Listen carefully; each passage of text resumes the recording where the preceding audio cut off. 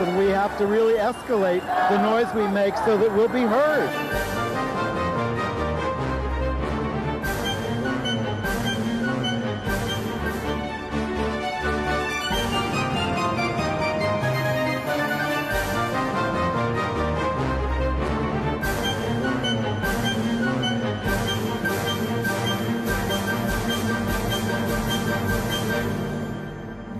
USA. I'm Andy Humm. I'm Ann Northrop. And uh, we have a, a, special guest today. He is gay journalist Michael Meenan. You may have read about him in the New York Times. He has come forward about sexual abuse he suffered at Fordham Prep High School in the Bronx in 1984. Come forward with good results. Uh, Donald Trump is set to join Marco Rubio at a gathering of the anti-LGBT religious right in Orlando this week. Uh, the Supreme Court has uh, put a ruling for a transgender boy in Virginia on hold. And the trial of the anti-LGBT Chief Justice of Alabama is set for September. Lambda is fighting uh, the abuse of a lesbian resident of senior housing in Illinois.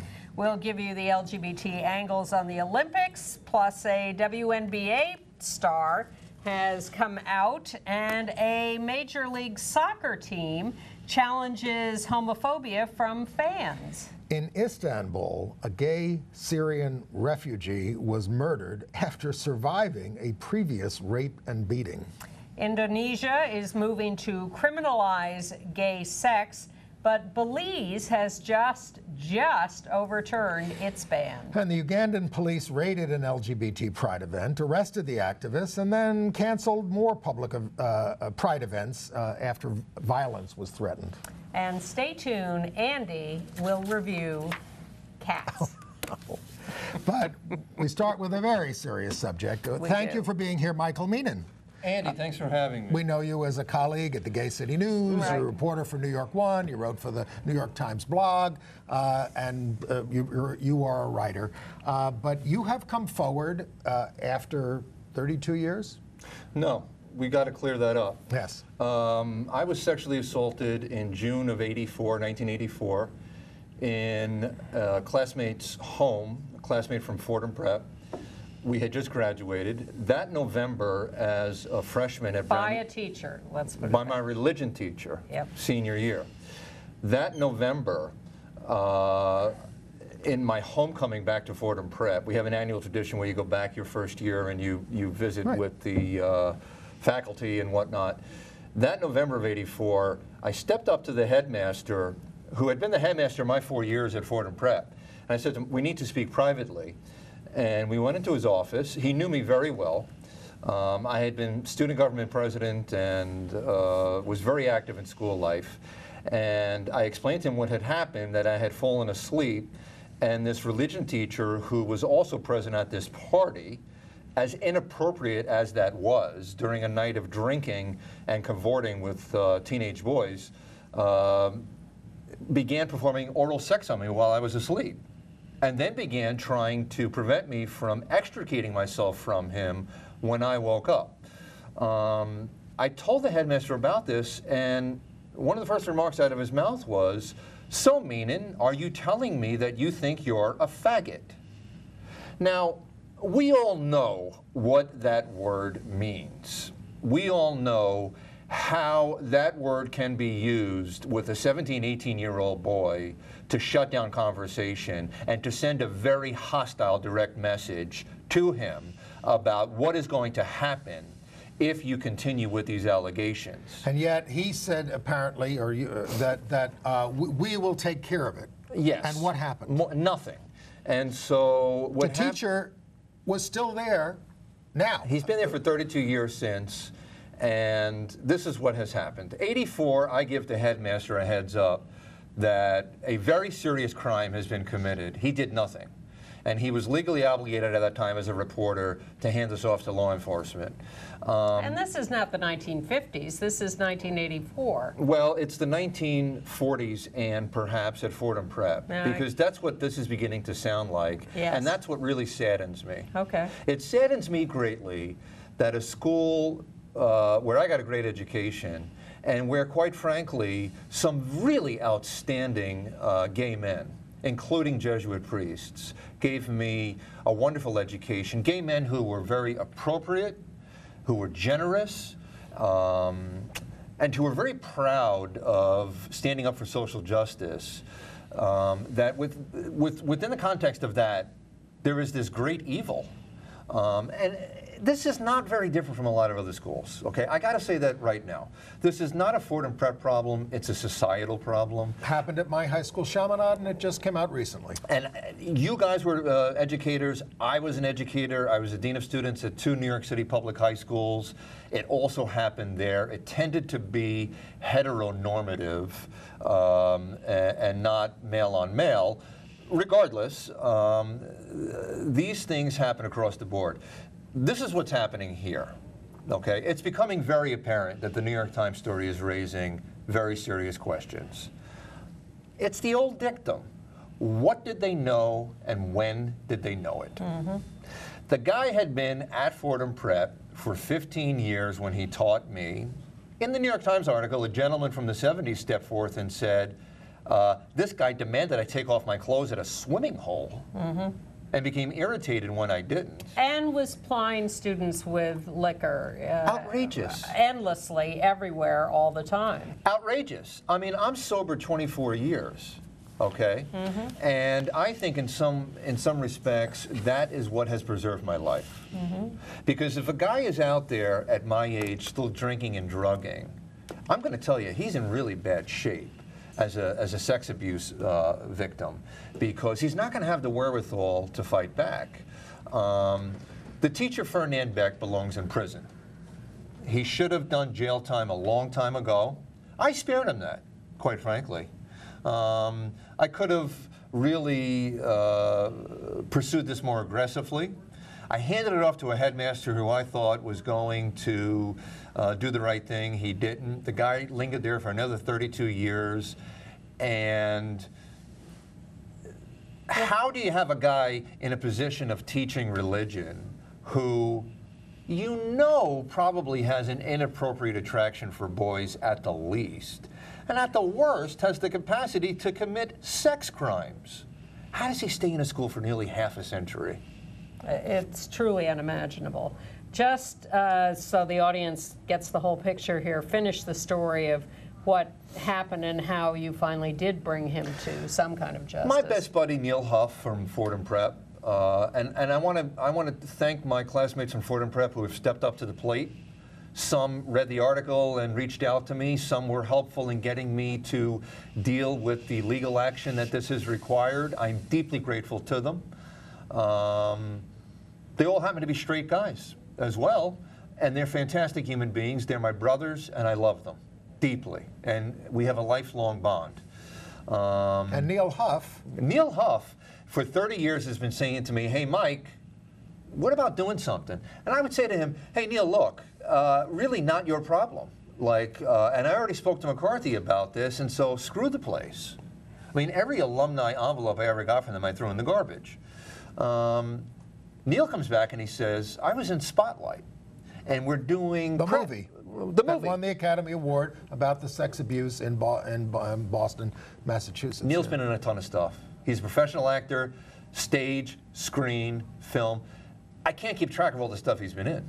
And I didn't know what Spotlight was. And I said, Neil, thanks, but no thanks. He said, Mike, it's a movie about the Boston Globe and the sex abuse scandal up there. I said, look, I read all about it.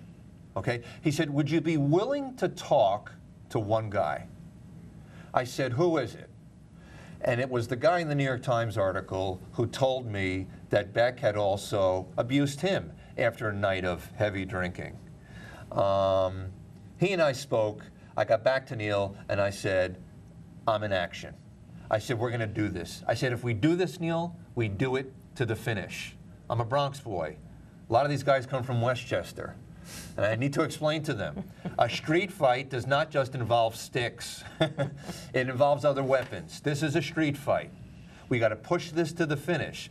This is a dark, dangerous place. The article mentioned me living without electricity and food at times. at times included months and months without electricity.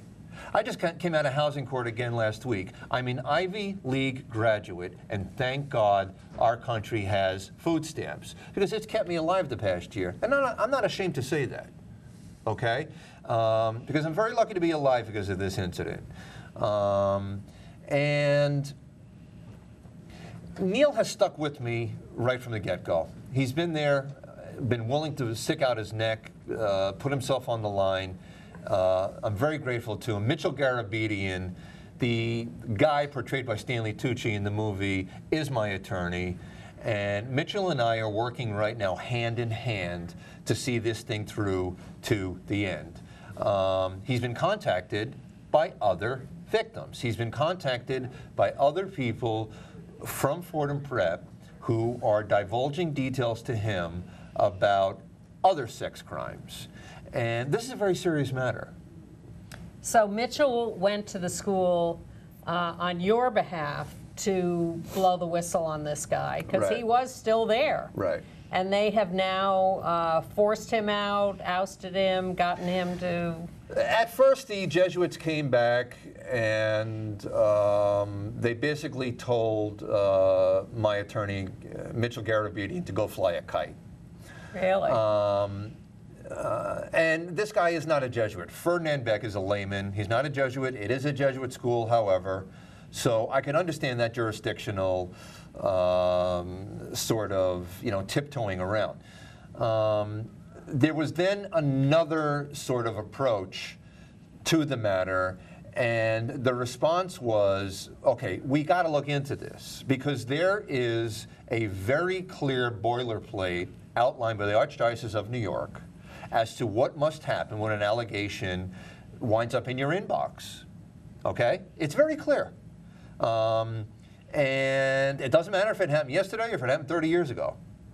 Um, and Fordham Prep, to its credit, under the leadership of uh, a young a young Jesuit by the name of Christopher Devron, who, by the way, apologized to me. He put out his hand and he apologized to me for what had happened to me, which I thought was gracious. I thought it was generous. I accepted his apology, and I think he's a good man. And I think he's trying to do the right thing. Um, I think he understands the severity of this sex crime. Well, they, they hired people to do their own investigation, and that's why they suspended him. It's including a gentleman uh, from the firm of Day and Pitney, a gentleman by the name of Stan Twardy, who is a former U.S. attorney from Connecticut. Now, For- former it- federal prosecutor. We should say, because we are running out of time, that, that, that people who have experienced uh, uh, abuse at Fordham Prep, there is a hotline that they can call. Maybe we should give them the number? Give them the number. Uh, it's the school's number. If you, It's 718 584 8594 if if you have experienced abuse, because more people are coming forward now. If they don't, if they feel that they don't feel comfortable calling the school, and I can understand that because this brings out a lot of rage. I mean, you can see the rage coming out of me, just sitting Sure. here, and I'm dealing with this effectively. Um, they should call. Just Google Mitchell Garabedian, Google my attorney, and I'm not trying to fish around for work for him. Uh, that's uh, he's a good guy. And he's doing uh, social justice work, and we need to know what is what did they know and when did they know it? And clearly, your message is it's never too late. And in particular, because this has had a lifelong effect on you. This is not something that was just a momentary thing for you. And I'm single. I just turned 50. Uh, I could be single for a variety of reasons. I told you that you know I'd gotten sober at the age of uh, 26. Um, uh, this miscreant was pouring booze down the throat of a kid with a biochemical disposition for alcohol dependency without a second thought. I mean, I'm talking about to the point of intoxication. The night I was sexually assaulted, I was intoxicated, and he waited until I was intoxicated enough to commit this sex crime. Horrifying. And it took a, uh, a law enforcement official in Westchester County, a woman who's, who has specialized in these crimes for years, to educate me very recently that when you perform oral sex on a child, it's a form of rape. Absolutely. And I, you know, like a lot of guys, you know, Andy, I mean, Andy and I grew up in a similar Catholic schoolboy environment. You kind of shrug that stuff off. You know, "Oh, well, he was blowing me. No. He was committing a severe sex crime. And I was able to shove that stuff off, but guess what? The toxin was already in my system. Yes. It was a toxin. Well, and you it's affected you all this time. You have We're going to shake this baby off. I mean, I'm, I'm a well. tough SOB who I grew up right across. I grew and up a great right up, journalist. Listen, I grew up right up from, uh, I grew up on 194th Street, right up the block from Fordham University, from Fordham Prep, and I am. And um, You wor- wrote award-winning stories on the Newark uh, case with the yeah, with the with the, with the, with that, the girls out there. that there, little, the that, young women out there. That little, uh, that special, special young girl changed my life. I've never met her. 15-year-old out lesbian, she happened to be African American, uh, killed in a hate crime. Uh, she changed my life. She gave me a springboard to Remind me of her name again. uh, Sakia Gunn Right, of course. with two N's. And uh, I had been a dean of students for many years before this. I was in the offices of Gay City News, hanging around, looking for something to do, and a paper came through the fax machine that said, Rally tonight in Newark. Uh, lesbians unite. You know, one of our sisters has been killed. Right. I said, What is this? This is bizarre. But I knew immediately, having been a dean, that this was big. Well, you've done a lot of good work. You're doing good work now. We're proud of you. Congratulations. Thank you, Andy. Thank, you for having me here. Thank, you, you. And uh, keep us informed about how this develops. This story has legs, Yeah. and I hope you'll you'll have me back when we have other uh, bigger developments, and they're going to happen. Absolutely. Thank you, Michael. Thank you, Michael. Good to Lovely see you. Lovely to see you. I'll see you Okay. Glad you made it. All right. Take care. Uh, and now on to more horror stories of Donald Trump. Oh my goodness.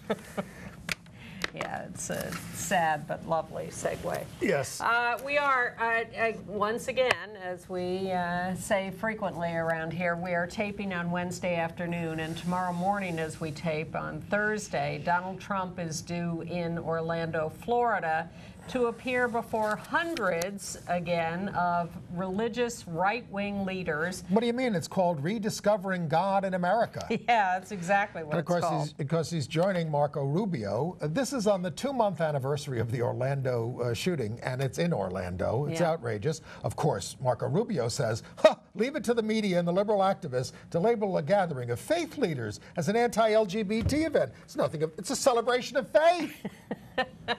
Well, what I like about it is Hillary that, Clinton was invited. well, there's She's not going. Uh, thank heavens. No, she's not going, or this is not supposed to go. But there's been a lot of discussion in, about this in the press about how Trump has been trying to court the evangelicals, and he put Pence on the ticket. He's, and- le- he's leading among evangelicals overwhelmingly. yeah.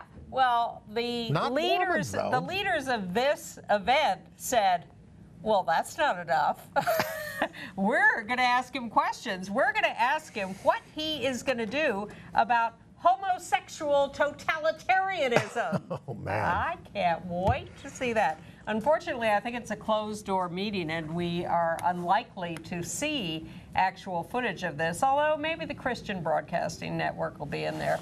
Uh, at any rate, I, I hope there is a lot of coverage of it and that you see that by the time you see this. But uh, we will certainly follow up next week Well, with whatever we learn about If it. If you have any doubts that uh, Trump is anti-gay, read Larry Kramer's uh, letter that he wrote this week uh, to good. Steve Roth, who was a, bil- a billionaire who was an advisor to Trump, but is married to uh, Daryl Roth, uh, the producer uh, of, of The Normal Heart, uh, and is the father of Jordan Roth, who's a gay and just got married uh, a couple of years Two ago. kids. Right, all that kind of stuff. And Yep. Larry is pleading with him and with the American people. If this isn't enough, his record on LGBT issues, enough to stop you from endorsing against all the other stuff that's happening, please. So we'll see what happens with that. I liked Hillary's characterization of this uh, panel of economic advisors as, uh, you know, a few billionaires, a few hedge fund guys, and six guys named Steve. I counted. I think there are less than six, but there are several. Well, Uh, and uh, for another view on Orlando, Ellen Page is coming back with the second season of her Gaycation series. And uh, she went to Orlando to investigate what was going on there after the Pulse massacre. And that'll air, that episode will air on uh, August 24th, Wednesday, August 24th. Okay. So look for that. and you know, we should report these things. A Trump spokesperson, Katrina Pearson, was revealed to Oh, have, she's a monster. to You have- read about her? to have tweeted in 2012, Yeah. "Gay is not normal, accept that." Yeah, I saw her. Spokesperson. I saw her on the air on CNN defending his, uh, you know, shoot uh, Hillary comments. Now, uh, the what's what's emerging, of course, is a lot of people who don't want to vote for either candidate, uh, especially in the Republican Party. And this guy Evan McMullin is now running as an independent. Now he's a t- he's a Mormon, totally right wing. Uh, you know, Very. But he was pressed. Former CIA guy. He was pressed about same-sex marriage, and he said, "Well, of course, I'm personally against it, but it's settled law, and I wouldn't appoint Supreme Court justices to overturn it." Of course, if you appoint oh, if you appoint conservatives, uh, right wingers, I should say, not conservatives, right wingers to the court, they will overturn it. McMullin is not an answer. No, um, but these, but uh, it does show you that the party is. Some of the people in the party are recognizing we got to move on. Well, Some they haven't liked him from the beginning. The party's been split from the beginning over him. Right. Uh, Trump was in North Carolina again this week, where uh, the uh, the populace is now saying 58% of them hate Governor McCrory for uh, bringing them HB 2. Uh, he's in trouble in his reelection campaign. Yes, he is. But he is still supporting HB2. Trump is still supporting him. He is still supporting Trump. Trump is still They're supporting all HB2. going down with the ship. uh, Tim Kaine, however, went to North Carolina and condemned HB2. Now, Barbra Streisand is headlining an, uh, an event called LGBT for Hillary. Where is this? Going to be at Cipriani Wall Street in New York. We're not promoting it, we're just saying it. If you, uh, it, uh, if you want to uh, actually meet with Hillary, you have to donate six figures at the event. Well, the money is going to uh, Senate candidates, House candidates, state parties, national parties, all over the place. Barbra Streisand. Yeah. Uh, in other politically related news, uh, Judge Roy Moore in Alabama has been trying to get out of any kind of uh, uh, condemnation or prosecution for his unwillingness to follow the law uh, by telling probate judges in Alabama they didn't have to follow the law of, of legalizing same-sex marriage. And he's been trying. He's been trying to get it all dismissed and everything. Well, Well, a federal court uh, dismisses dismissed a suit against the Judicial Inquiry Commission, which filed the ethics complaint against Roy Moore, and won't lift the suspension of Moore while the court of the judiciary is deciding the ethics case. Right, and it's going to be go on trial September 28th. And also in Alabama, a probate judge accused of sending sexually charged messages and nude photos to a woman he met when she went to his office to wed another man has agreed to a six month unpaid suspension. Uh, this is Judge Leon Archer. Uh, he's one of the judges who uh, quit performing same sex marriages uh, rather than al- uh, allow them to wed in his office. And his staff uh, does continue to issue wedding licenses to uh, um, opposite sex couples. On the other hand, in Fairfax, Virginia, Mayor Scott Silverthorne has been arrested uh, because he was offering to trade meth for group sex with men. Uh, he blamed the fact that he'd had cancer, he'd gone bankrupt, he'd lost his home, he'd lost his other job. Uh, nonetheless, he's under arrest for uh, mostly for his drug crimes. Right. Group sex with men is not a crime in most places, I guess, Right. these days. Okay. If it's consensual. In uh, more legal kind of news? well, I was going to go to uh, the Supreme Court and Gavin Grimm. Well, let's do that then. The Supreme Court uh, was asked Gavin Grimm is this transgender boy Yep. who won his case about his right to use the gender appropriate bathroom in the school, but the Gloucester County School Board Gloucester. is Gloucester County School Board is fighting fighting him. Yes. To he the- was to the originally using the boys' room with no problem. Then the, uh, the uh, school had a complaint or two and barred him, and then he went to court and he won his case at the Fourth Circuit. But the school board and the right wing is still fighting him, and the, the case keeps going up through the uh, They keep losing. And so they they want to take this to the Supreme Court, and so they asked the Supreme Court not to let Gavin use the boys' room while the Supreme Court is deciding whether to take the case. They haven't made that decision yet.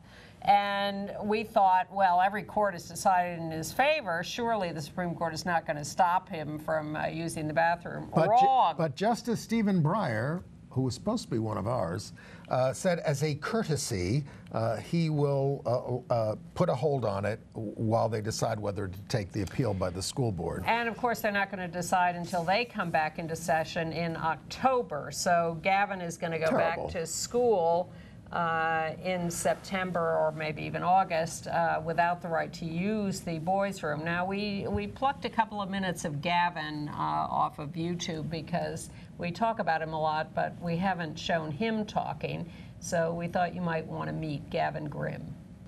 Standing at the school board meeting last year was equal parts humiliating and terrifying. Humiliating because, at age 15, I had to witness adults of my community discuss in a public forum some rather intimate details of my anatomy. In plainer words, the anatomy of a 15 year old was considered appropriate for public conversation by the Gloucester County School Board. For any kid, that would be mortifying. However, for a kid who is transgender, bringing to the forefront of people's minds the very part of themselves that already makes them dysphoric is incomparably distressing. I sat by while people re- repeatedly called me a, a girl. She, her, young lady, confused young lady, even freak. Bullying is already an enormous problem for high school aged youth, and especially transgender youth. To hear adults of my community treat me as if I was a creature for their ridicule and observation, or some oddity on a stage, was incredibly dehumanizing to an extent I could not possibly convey. And of course, I was terrified. Firstly, because the school board had the power to bar me from the correct restroom for the rest of my time at Gloucester High School. Secondly, because I was in a room full of adults who thought it appropriate to have this sort of vulgar discussion, who would clap or cheer after every derogatory statement, of which there were many. After enduring all of that, twice, I felt as though I couldn't possibly take any more hits. But I did, because at the end of the school board meetings, my school board chose to enact a policy that would further alienate and stigmatize me by forcing me to use separate restrooms from all of the other students at the school. For me, the thought of going into a separate restroom, which might as well have been labeled other, was just far too much to bear. The trek to the restroom in the nurse's office each time it was necessary was similarly humiliating similarly upsetting, and othering and dysphoria inducing. The only difference was that it was just slightly less conspicuous. I am fighting this fight because no kid should have to think so hard about performing a basic and private function of being alive. No kid struggling to be accepted and struggling to accept themselves should have to simultaneously battle for the right to use the correct bathroom. That is why I have come to this point. I hope that I will be one of the last kids that has to go through something like this, and I'm going to do what I can to ensure that. We're with you, Gavin. Thank you, Gavin. Good luck. Very courageous. Uh, well, and then nationally, uh, the Attorney General of Texas is in court this week, Friday, to get a national preliminary injunction against these bathroom law. Uh, and, and really, what they're fighting is the president's guidance, uh, not, that's what not, they're not a law. that's what they're suing to stop. Except that the president hasn't done anything, Right. so there's nothing to do. and then in Wilmington, And, and in Texas, in Pearland, a four-year-old trans girl is having to fight for bathroom access.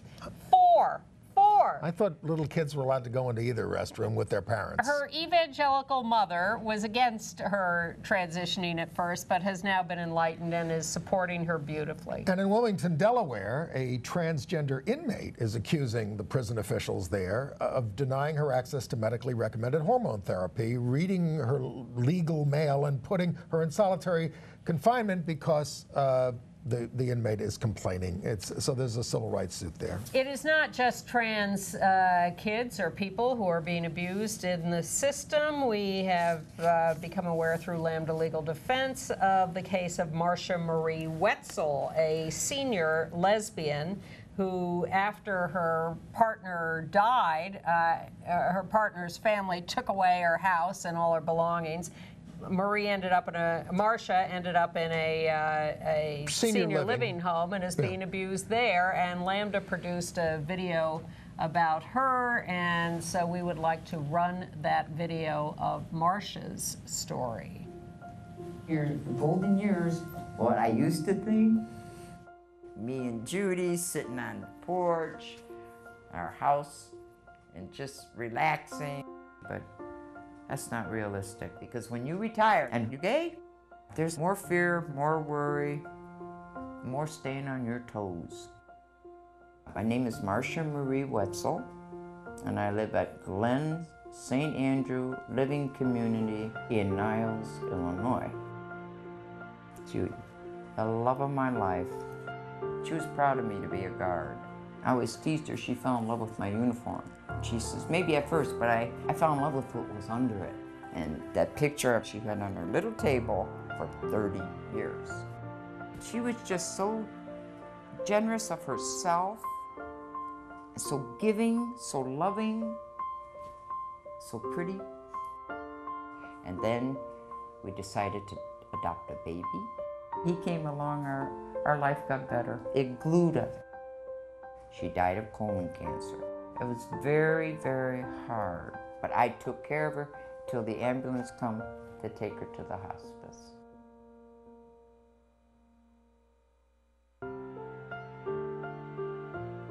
I was shunned, completely shut out. No one would drive me to her funeral.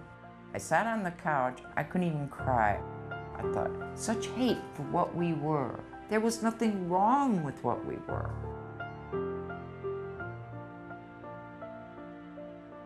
He wasn't himself. He started hitting me. The court said for two years, he and I could not contact.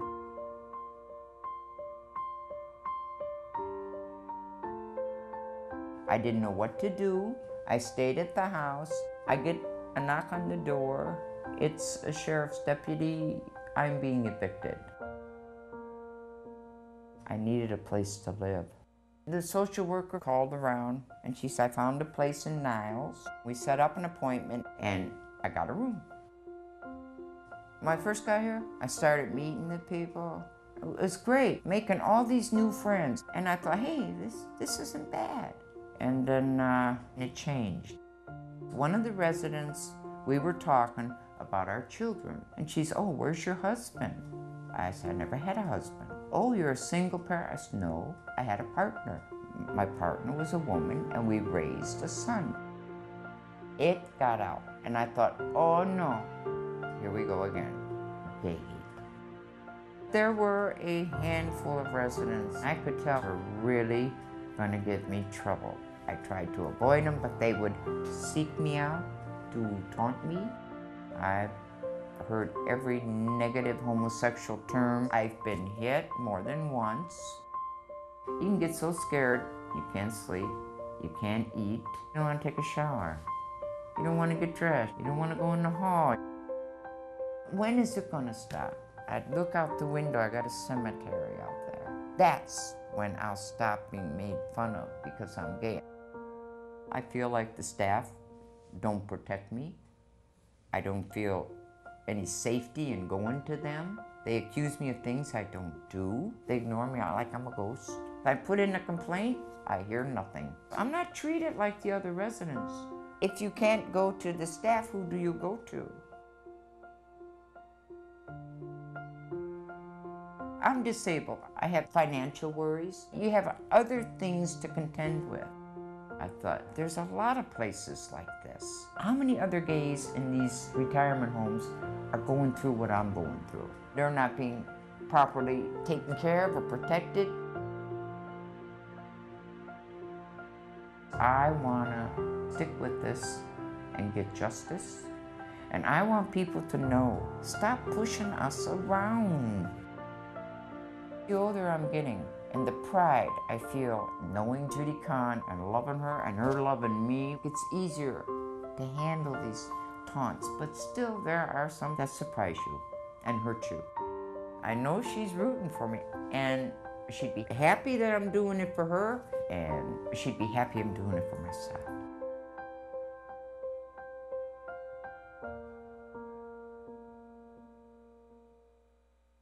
Uh, we really hope that Lambda gets justice for Marsha. I also hope it reminds couples that you need to protect each other as much as possible. Uh, I don't think marriage was available to her and her partner when she passed away, but you can write ironclad wills and things to protect each other's property. Don't let this happen to you. Uh, and in New Jersey, four lesbians have sued the state uh, because the state they're not getting insurance coverage because of state rules about infertility treatments. Well, if you want infertility treatments, you have to have two years of unprotected sexual intercourse first. Heterosexual, unprotected, to prove that uh, you know you're infertile. Well, 15 states uh, do cover fertility treatment, uh, and California and Maryland have updated their language to require it regardless of sexual orientation. I remember the lesbian who worked for Walmart who couldn't get her partner dying of cancer covered by them. Well, Walmart has now given the LGBT Bar Association $30,000 $30, so young lawyers and law students can attend the Lavender Law Conference. This is being called pink washing by uh, activists. Uh, the woman whose wife was dying spent 175,000 on bills. That's one case. You thought we could stop talking about St. Patrick's Day parades? Well, in Boston, where they let the gay group in the last, I guess, the last two years, uh, the South Boston Allied War Veterans Council that runs it in Boston said they were coerced by the mayor into doing this, and they're suing. They said he threatened to withhold permits if they didn't let the gay group in, and the mayor's people said, well, we didn't withhold the permits, did we? A horrible story out of New York. A thug shouting homophobic slurs stabbed a gay strap hanger, that means a subway rider, traveling with his boyfriend and his sister on the number one train on Saturday. Uh, he, the assailant got angry because he, 28, saw the guy with his partner and started shouting, uh, you know, you faggot, and then stabbed him in the left side of his chest. He's in serious but stable condition. Uh, we found the picture of the Navy ship that's being named for Harvey Milk, uh, the USNS Harvey Milk, uh, a John Lewis class oiler. There it is. Uh, naming ceremony August 16th Okay. in San Francisco. And another note from San Francisco, there the city's going to start collecting voluntarily data about the sexual orientation and gender identity of their residents to assess needs. Also in San Francisco, they've saved the Lone Star Saloon. This- Maybe. This, is the first gay bar that was declared a legacy business under a law approved by the voters. They have this in England Yeah. to protect uh, places that are that have been around forever and that are really integral parts of the community. I like things like that. Yeah, the owner can still sell it. Uh, a lot of you were upset with Delta Airlines this week because you can't, maybe you still are, can't fly. Well, they've also took uh, they the version of the movie Carol, the lesbian movie that they were showing, cut all the kissing scenes.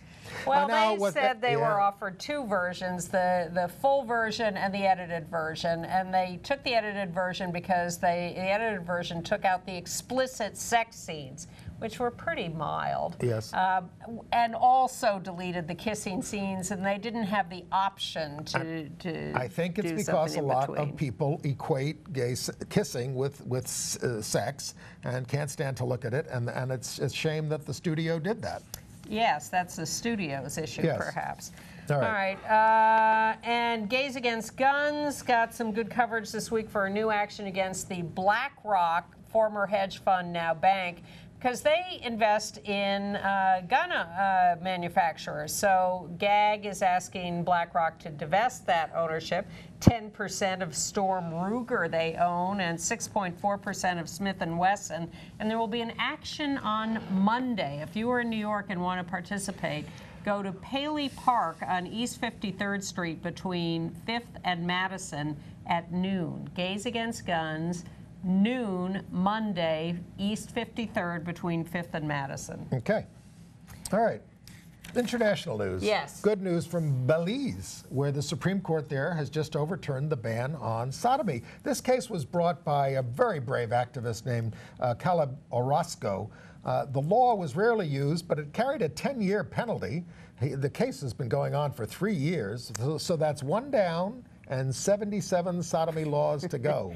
Caleb was uh, is a great activist and was featured in a big uh, photo spread and story in the New York Times Magazine. Very brave. Uh, the judge had delayed. The case was heard three years ago. The judge delayed the ruling, but now has finally done it. In Turkey, a gay Syrian refugee was found beheaded in Istanbul. He had previously, months before, been kidnapped and raped. have a Mohammed, picture of him. Mohammed Wissam Sankari, uh, known to his friends as Wissam. Uh, horrible, horrible story. uh, So violent what they did to him. There he and, is. and, you know, this is considered a refuge for gay refugees to go to Istanbul.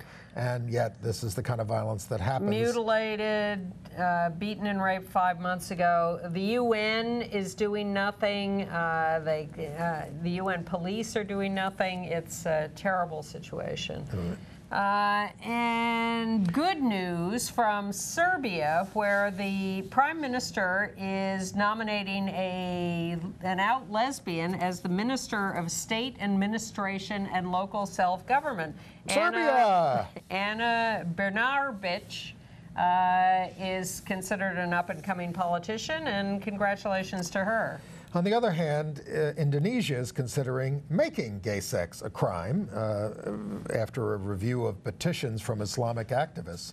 This is, again, brought by the religious right. It's not technically a, a- a crime there, uh, but uh, they want to make it one. And a lot happening in Uganda Oh. this week. They were attempting to do a week of Pride festivities. So the first thing that happened was that uh, uh, the local LGBT community was holding an event at a local nightclub. Mr. and Miss Pride Uganda pageant. Uh, the police busted in, arrested more than 20 people, including our pal Frank Mugisha from SMUG, Sexual Minorities Uganda. and beat people, mostly trans women. Yes, they uh, hundreds of people. They there were several hundred people in the nightclub. 200. They sexually assaulted, uh, uh, particularly trans women, uh, and as you say, beat them. One jumped from an upper window and is still in dire condition. May or may not survive. And then the government said that it will continue to suppress the public activities of homosexuals, and that, uh, and that a rehabilitation program has been developed to help us lead normal lives. And in the midst of this, the Pride Parade, which they have held in the past, was canceled after a cabinet minister threatened to bring cops and a mob to beat up people. And the U.S. ambassador there uh, to Uganda is uh, heartily objecting to all this. Yeah. In Tanzania, they're going to suspend the registration of charities and organizations supporting the LGBTQ community. The Justice, Justice Minister, in quotes, says the ban will help protect the nation's culture. In Bogota, Colombia, uh, the first uh, gay men married under the new legalization have been getting death threats. In India, the government is, in, is introducing a transgender rights bill and will punish those who exploit and harass transgender people, giving hope to the community that has faced a lot of discrimination. Yeah, but this in a country where they still haven't overturned the sodomy ban. Yes, would you do that, was please? reinstituted. Right. After the court had overturned it. In Ireland, the Archbishop of Dublin has fired uh, trainee priests who are using Grindr to meet men. And in Belfast, the uh, Pride Parade there, in its 26th year, 26th year, was headed by Belfast's first openly gay deputy mayor, Sinn Féin's Mary Ellen Campbell. In the country of Georgia, the president is not giving his permission, which he had to give, for an anti marriage referendum uh, to amend the Constitution to ban same sex marriage. That's good. Well, he said, uh, uh, we don't have to do that. It's already in the law. It's already illegal to do same sex that, marriage. that never stopped governors in American states. Well, in fact, the right wing is appealing his uh, denial of permission, so the story is not over. In uh, Jamaica, uh, the U.S. ambassador there, Luis Moreno, wanted to show his support for LGBT Jamaicans, so let's show you his picture. He Looks wore- just like you. He wore a rainbow tie and lit up the embassy in rainbow colors. He's a career Foreign Service officer, much decorated for his service around the world. I should have made you wear your rainbow tie today so you could compare it But to a little his. more trouble for the ambassador to the Philippines. uh, President Duterte there uh, said he referred to the American ambassador there as a homosexual and a son of a bitch who really annoys me. Um, he said, uh, Kerry's not so bad, but this guy really annoys me. Uh, there's no indication that, that Philip Goldberg, the ambassador, is homosexual, uh, but, uh, you know, this guy is out of control. Well, let's go to the Olympics. Okay. And the LGBT. Uh, the you may remember when last we visited the Olympics two years ago, the Winter Olympics in Sochi, Russia. The whole fight was over whether uh, LGBT people would be welcome, could be out, would be arrested. No Pride House in Sochi. No. Uh, Brazil is a different story, uh, uh, pretty much. Uh, in the opening ceremonies, uh, a trans model, who's a well known international model, Lea T, marched in the opening ceremonies. some of the five of the country placards in the parade of athletes were carried by trans people. Uh, as as the torch was coming into the the stadium, uh, somewhere along its route, two male uh, torchbearers kissed. I think we have a picture of that. The male, there, There they they are, kissing along the way. Um, uh, let's see what else here. Uh, Well, uh, we also, uh, well, let's see, uh, we have the uh, rugby players. Uh, the Brazilian rugby player, we have a picture, uh, Isadora Cerulo and her partner, Marjorie Enya, got engaged on Monday night following the rugby final between Australia and New Zealand. I like all the excitement behind them of everybody with the balloons and everything. The woman in the green jacket is the rugby player, and her partner, fiance, is a volunteer at the games in the yellow and orange. Uh, the rugby team from Brazil did not finish high up, but uh, everybody's very excited about And then the the, uh, engagement. there was a married, I believe this is football, married couple Helen and Kate Richardson Walsh helped Team Great Britain to get one step closer to the gold medal. Yeah, the field hockey players? Yeah, yes. Were they field hockey? I'm Yes. sorry, field hockey, not Uh, football. uh, they, this is the fourth games they have competed in. Uh, now, in basketball, they're one of the WNBA stars. In fact, she was the MVP of the WNBA, uh, Elena Delle Donne, uh, and plays on the U.S. Uh, Olympic team uh, was interviewed and, and profiled in Vogue magazine, where she talked very matter of factly about her fiance, Amanda Clifton. We have a picture there. They are together. Guess what? The basketball player is the tall one on the right. But there wasn't, NBC didn't seem to give respect to uh, Tom Daley and his partner, so we have a picture of them. Tom Daley is the British uh, uh, syn- Diver. synchro diver, and he won the gold medal with his partner, Daniel. Bronze. Da- bronze, I'm sorry, Daniel Goodfellow is his uh, swim, uh, diving partner. But uh, NBC did not refer to Dustin Lance Black, the Academy Award winning screenwriter who was in the audience the whole time, uh, which I think is a, Uh, uh, uh, bad. We have to go back to NBC with more demonstrations. We have to interrupt the Today Show again. Uh, we've done it before.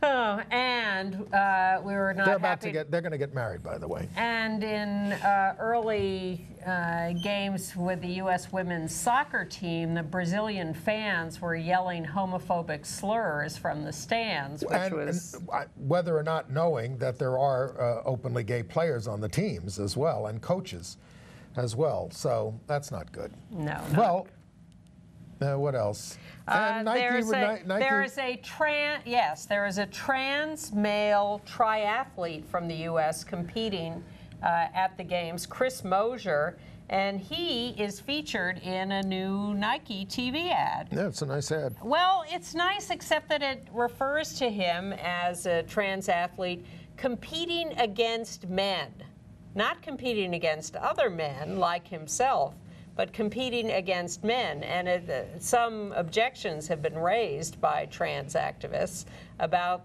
the wording in the Nike ad, which is a little dicey, but certainly we were happy to see him in that. Okay. And so that's all we know about the Olympics at the moment. now, uh, some uh, American sports uh, items. The uh, Chicago Fire, uh, Major League Soccer team, the general manager, there, Nelson Rodriguez, at the team's Pride Night. He went out on the pitch, out, out on you know, out on the field, and announced the decision that if you're caught uh, cha- uh, chanting "puto" or any other anti-gay slur, you will be removed from the stadium. Uh, and he said, "Don't let the door hit you in the butt." Most pl- applauded, but there were some boos, and it was a small minority. And so, the, so there is an effort in football across the world to try to stand up to this kind of stuff because it's a typical thing that fans do. Uh, Trump should try it at his rallies. No, McCain did it, and uh, and he lost the election. So Trump will not be condemning his uh, racist, homophobic fans. Okay. They must have given him some sort of a drug. He didn't object to all the, he didn't say anything about all the people interrupting his economic speech. Oh, please! You don't think they drilled him for days on What that? What good does that do? Well, in this case, when you're talking to the Detroit Economic Club, you want to uh, look a little more. Uh, he was trying. Look, he was reading the whole speech. He was trying to look presidential to the extent he can. Uh, you could see just the pain on his face Yes, of he- not it, going it made him very nervous. He even talked about the titties in, in, in Michigan when he meant to say cities. I missed that. You missed that one? Yeah. Uh, it was a big one. Okay. That's what happens when you read and you don't proofread. Okay. All right. Um, well, uh, there's a big movement now by Athlete Ally and NCLR and some others to try to stop the NCAA from letting BYU, Brigham Young University, join the Big 12 conference because of their anti LGBTQ discrimination. They have rules at Brigham Young University of no gay sex, no gay contact, uh, probably no premarital sex for Correct. straight students too. But they're very, very, very anti-gay, and the NCAA has now very pro-gay rules and is now requiring cities that want to hold NCAA tournaments and stuff to prove that they don't discriminate. So the Big 12, which only has 10 schools at the moment because schools shift around, uh, is looking to bring in BYU as one of their schools, and, and now this opposition has arisen. We'll see whether they pay attention to it. All right. Uh, all right, AIDS news.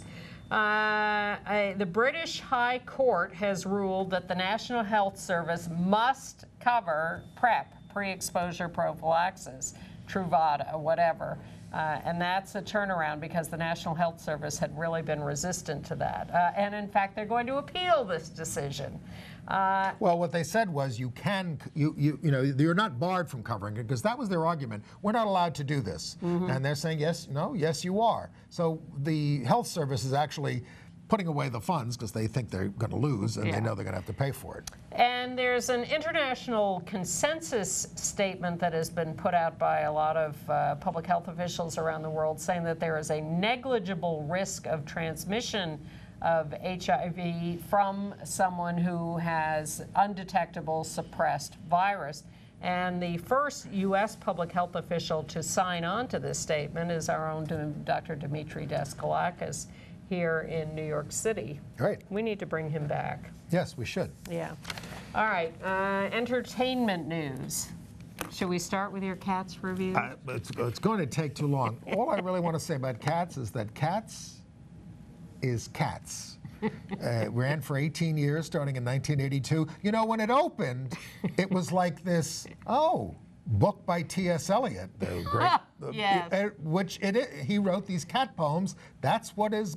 He won the Tony Award. He was long dead, but he won the Tony Award for it. His uh, uh, wife picked it up. Is he an Uh, EGOT so it- yet? yeah, so it had kind of a, it had kind of a, no, it had kind of a, um, you know, an air of uh, sophistication about it. Hmm. Well, look, it's got, it's got some good tunes. I mean, I think people are right that uh, Memories. You, are going to miss Betty Buckley when you hear uh, Leona Leona, Lew- Lewis. yeah, who's 31. She's She- a great singer. she's got the pipes, but she can't act, and so that's a little bit of a problem. But uh, it's Cats. If you've never seen it, I, I went with my friend Jim, who'd never seen it. He had a great time. Why is it that the people we take to the theater enjoy it more than we do? Except I don't when you take me. Uh, are you going to see Alice in Black and White? I don't know what that is. That's the uh, play about Alice Austen, uh, Oh, the right. out lesbian uh, famous photographer who lived on Staten Island go? with her lover Gertrude Tate. Maybe it's at 59 East 59th. All right. Those theaters. I'll give 'em a uh, call. Through August 14th, we better get there quick. But Okay. you better get there quick. Uh, Alice in Black and White's gotten very good reviews. Good. Uh, also, I told you very briefly uh, a week or two ago, because I only had a couple of seconds about this movie, Women He's Undressed, a documentary uh, playing in LA, I think, but now out on DVD and uh, video on demand. It's about Orry-Kelly, the famous uh, Hollywood uh, uh, costume designer. Lover of Cary Grant. Yes, and it's a, a lot of it is about how they lived together in New York when they were both very young and up and coming, and how Orry-Kelly went on to be an out gay man in Hollywood and ended up very contemptuous of Cary Grant, who refused to be out in Hollywood. Well, who was out and who was out among the big stars then? Well, you had George Besides Cukor Franklin and Pangborn. well, they weren't out, out, out. I mean, everybody knew they were I'm gay. just saying they went their separate They- ways, they and it's uh, and this movie is an interesting combination of both sort of recreations of them and uh, and people portraying them. And interviews with actual stars who knew all these people. Jane Fonda is interviewed extensively, Angela Lansbury, others. And they talk about uh, Cary Grant and his relationship with Randolph Scott and how that was sort of, you know, hiding in plain sight. Yes. Uh, so, Women He's Undressed is actually quite an interesting movie. And yet, when Chevy Chase called Cary uh, uh, gay on the Johnny Carson show, uh, Cary Grant sued him, and I think won. Well, Liberace sued too for being called gay. All we do is report We just report it. because there's nothing wrong with it. Uh, there isn't. I want to uh, mourn the death of Elliot Tiber at, at 81. He was the young gay guy who uh, uh, gave a home to the Woodstock Festival. Oh, right. And he wrote a great book about it. Yes, he did. He also was at Stonewall. Wow. So Elliot Tiber, uh, actually uh, present at history, uh, dead at 81. Uh, they, they had been turned down elsewhere for the festival, and he said, "Well, I, I'm 31, but I'm the mayor of this town, and uh, I've got a permit, so I'm giving you the permit, and uh, and you can uh, stage the festival here." There's a uh, there's a movie about it. Yes, there is. Uh, Taking Woodstock by Ang Lee. Right. Uh, also, we got a note from a viewer about a. I'm sorry. Was he the mayor or is the guy who owned the motel? uh, the- he the was. land? He was. Well, I'll reread the All right. obit, but Okay. here you read the No, obit. all right. You go ahead. Uh, Grand Theft Auto, an extremely violent video game, has created a section called uh, Pride Parade uh, as a tribute to Orlando and the massacre there. It's very strange. People are debating whether that's appropriate for Grand Theft Auto, but nonetheless, it's there, and you can take a look if you want. And we will see you next week. We are done. Elliot owned the motel. Thank you. but he was also the, some public official. Okay. Uh, we'll continue to debate this. See you in a week. Bye. Bye bye.